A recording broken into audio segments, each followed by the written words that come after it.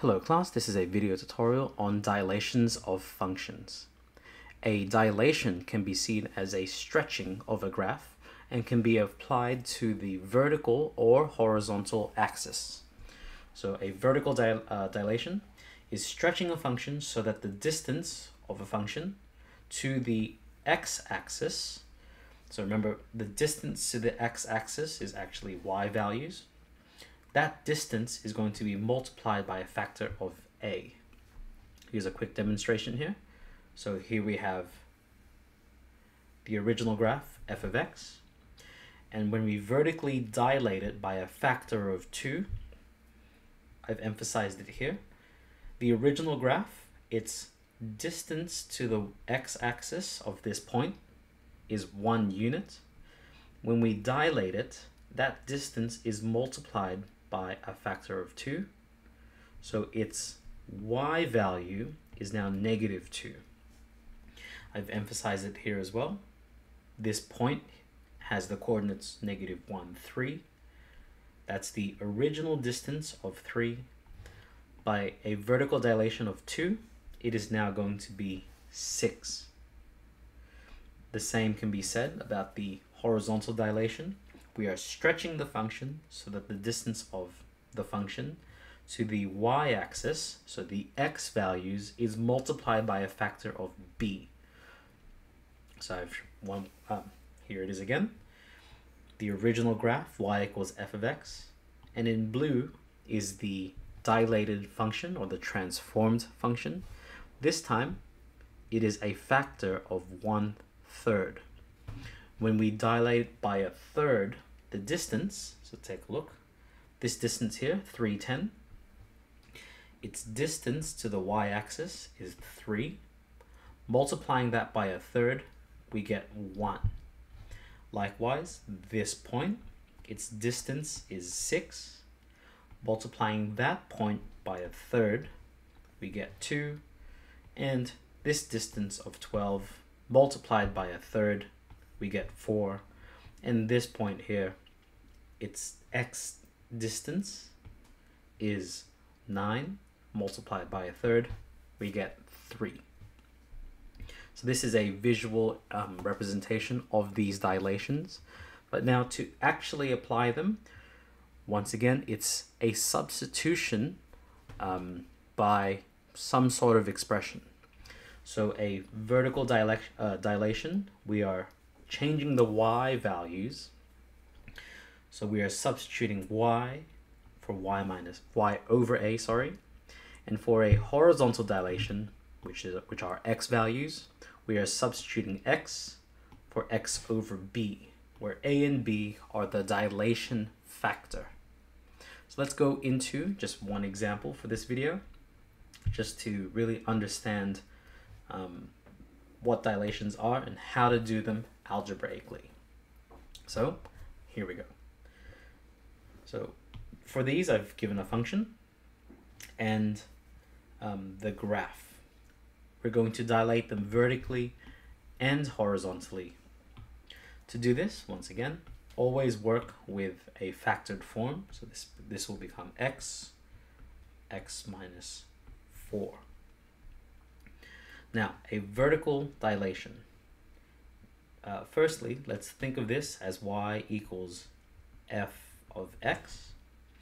And since we're vertically dilating, that's going to be y equals y over a. The factor we want to change is 2.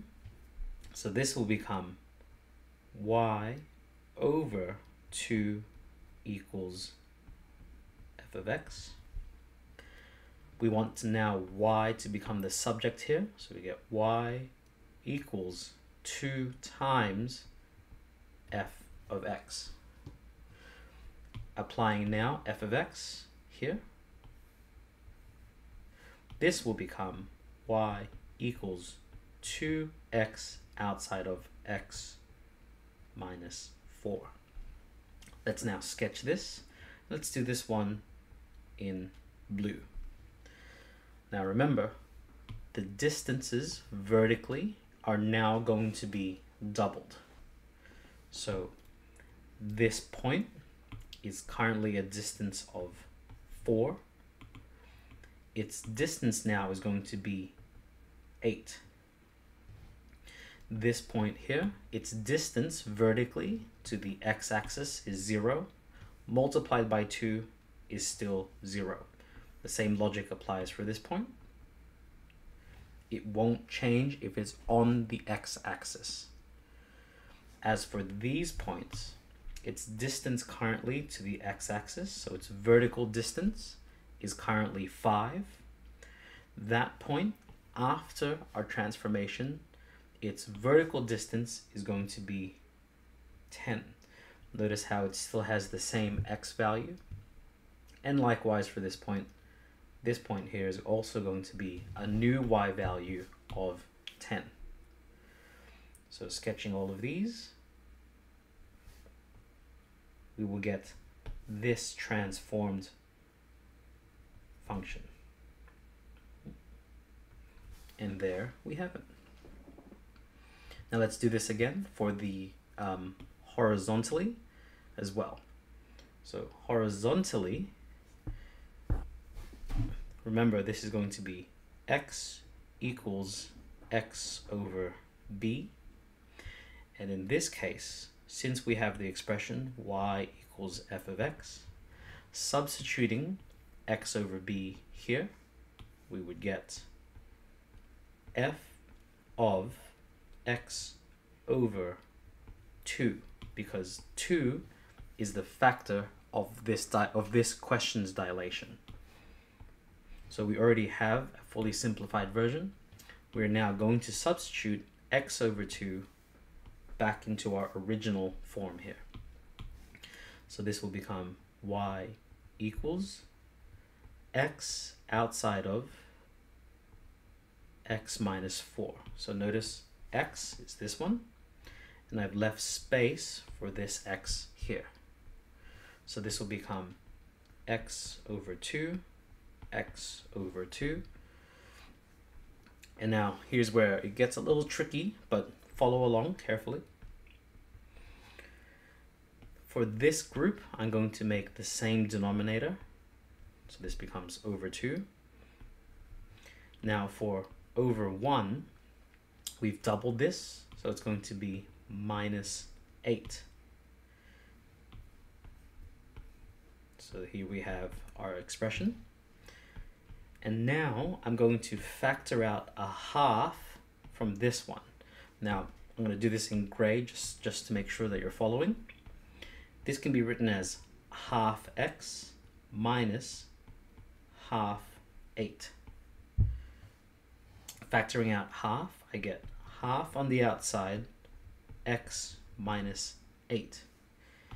That half is going to multiply by that x over 2, which will give us x over 4, x minus 8.